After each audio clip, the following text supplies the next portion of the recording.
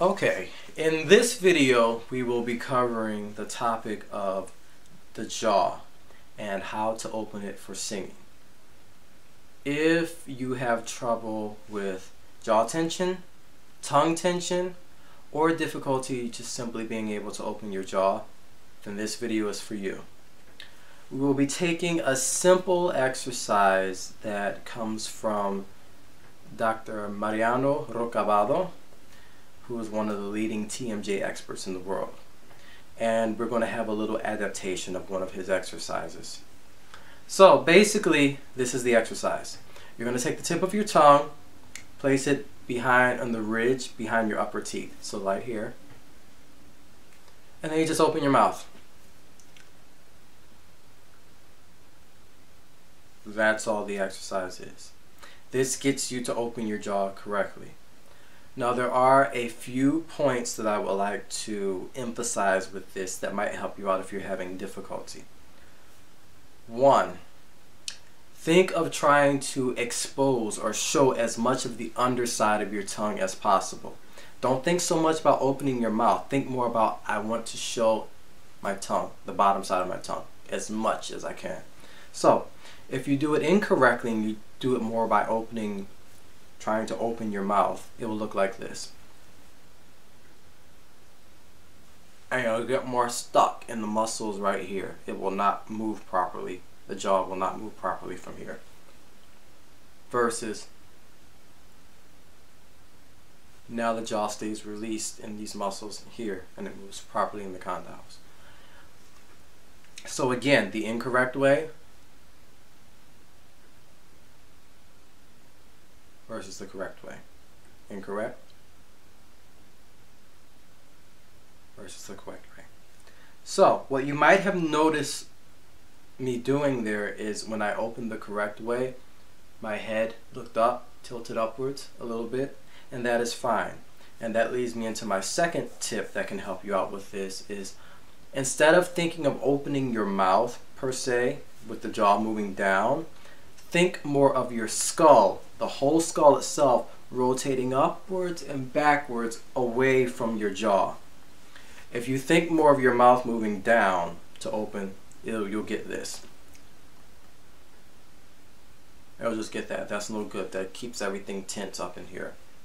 Versus more or less the jaw stays still and the skull rotates away from it. Then you get the opening much better. And the third point or tip that can help you out with this exercise is the activity of the muscles in this area of the face. So your cheek muscles and the muscles up above the lip, they will activate when you are opening the jaw correctly, especially the cheek muscles up in this area. So if you open and you're keeping and you're keeping your face dead, you will not open correctly. So if you open like this, and you're stuck up in here. But if you let the muscles here activate, like you're smiling like this, you, they'll activate when you smile. Think of that when you're trying to open more. That will allow you to be able to be able to open the jaw much more without inducing tension. So watch. It's not this. This is the dead position versus see I can show more of the underside of my tongue when I do it that way. So those are three tips that you can play around with if you're having a little bit of trouble with this exercise initially. So then that will take us to the next portion of this exercise, which is we're going to open two different ways. One way we are going to call opening vertically, the other way we are going to call opening horizontally. When you're opening vertically, the corners of the lips will stay relaxed. And we're going to think of a vowel sound when we are opening this way. We're going to think of ah when we're opening vertically. So it will look like this. See how the corners of the lips here stay relaxed? Muscles here are still active, but the corners of the lips are relaxed. And in my mind, I'm thinking ah, ah, ah, ah.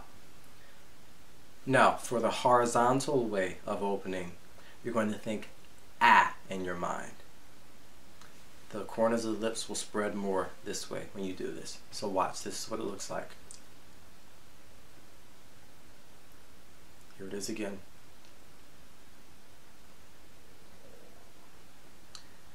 So, you have two ways of opening. Thinking vertical opening, think the vowel ah. And the horizontal opening, thinking the vowel ah. And here they are side by side.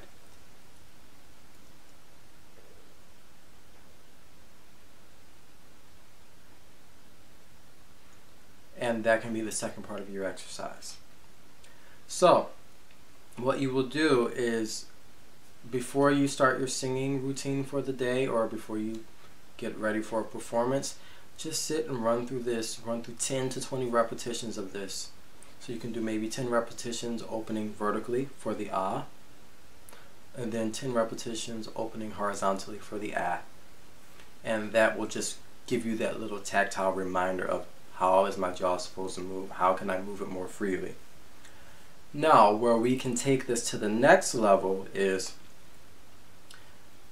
you start off in one of your either your vertical or your horizontal position and then you let the tongue fall. So like this.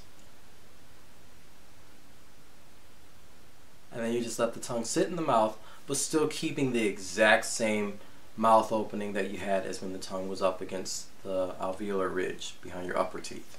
So I'll do it again for the vertical opening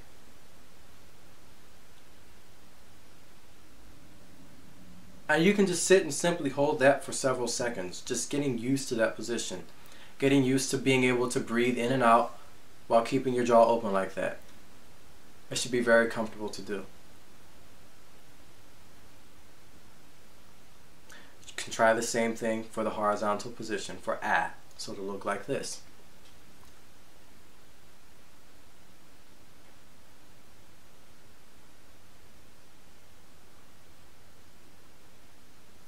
That's all it is. So then we will take this to the final part of this exercise, which is vocalizing on the ah. So you will start off with the tip of the tongue against the alveolar ridge behind your upper teeth, and then let the tongue drop. Then say ah. Ah, ah, ah. You should be able to say that easily.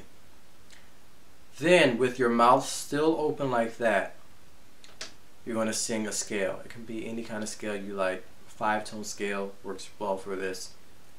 And it'll just be like this. Ah,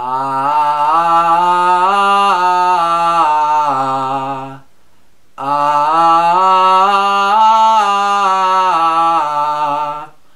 ah,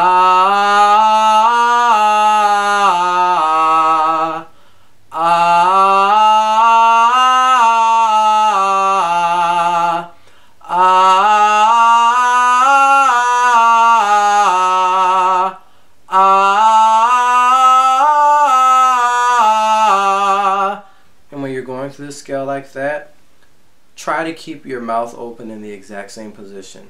Don't let the mouth close when you're going up the scale. So don't go, ah, don't do that. Keep it open the exact same way and learn how to make all of your resonance shifts in the back of the throat with the mouth being open like that. So, ah,